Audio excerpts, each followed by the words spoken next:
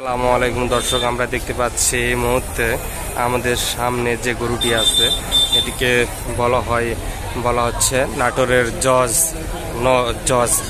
চাচা হ্যালো চাচা একটু কথা বলে। নাম কি চাচা এটার? নাটোরের জজ। আচ্ছা এটার দাম কত যাচ্ছেন? বিশ লক্ষ। টাকা? মার্শাল্লাহ গরুটি অনেক সুন্দর। এই চাচা এই গরু তো নাটোরেরই না? হ্যাঁ। সম্পূর্ণ ওজন কত মন আছে? আনুমানিক বারোশো। বারোশো কেজি। বারোশো কেজি তাই না? জি। দর্শক দেখতেই পাচ্ছেন আমরা গাবতলি হাটে এসেছি। এই সুবিশাল গরুটি সুন্দর গরুটিকে রাখা হয়েছে। নাটোরের গুরুদাসপুর থানা থেকে আনা হয়েছে। এই সেই নাটোরের জজ। হুম। এই হচ্ছে আমরা দেখতে পাচ্ছি চারো সাইড থেকে নাটোরের জজের অবই পাচ্ছি কাকা আমাদের গরুর সাথে কত মজা করে। আসলে গরুটি তার সঙ্গে কীভাবে মিশে গেছে অন্তরঙ্গ ভাবে আসলে বলার ভাষা নেই। আবার আমাদের নাটোরের জজের দাঁত দেখব এবার আমরা।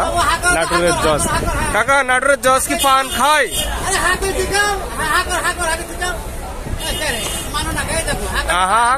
হ্যাঁ বাহ, সুন্দর। আচ্ছা কাকা, এটা কতদিন ধরে পালছেন আপনি? চার বছর ধরে, না? যাক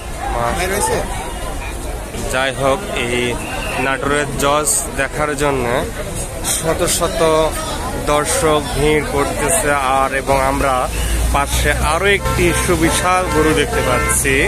এটা মনে হচ্ছে কালা পাহাড়। গাবতলির মেইন গেটে ঢুকতে হাতের বাম পাশে গরুগুলোকে রাখা হয়েছে। আপনি আসলে দেখে সত্যিই মুগ্ধ হয়ে যাবেন গরুগুলি। অসাধারণ, সুন্দর এবং খুবই খুবই নরম, খুবই শান্তশিষ্ট এই গরুগুলি। আমি কত কাছে যাচ্ছি, তারপরেও কোনো ধরনের উশৃঙ্খল ব্যবহার করছে না। আমরা দেখতে পাচ্ছি এখানে আমরা আবারও ওই নাটোরের জজের কাছে আসলাম। নাটোরের জজকে এমনভাবে কাপড়ে, লাল বেনারসি শাড়ির মতন শাড়ি পরে নিয়ে আসা হয়েছে নাটোর থেকে। মাশাল্লাহ গরুটি অনেক সুন্দর।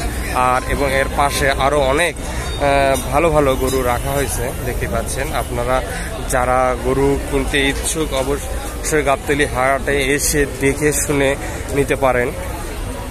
চলুন আমরা ভিতরে আরও গরুর অবস্থা দেখি। কি কি ধরনের গরু নিয়ে আসা হয়েছে গাবতলি হাটে।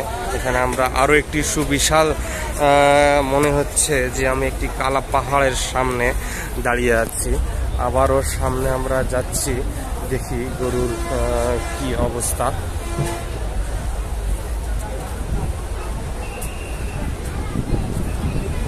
মাসাল্লাহ গরুগুলি আহ, অনেক সুন্দর হয়েছে।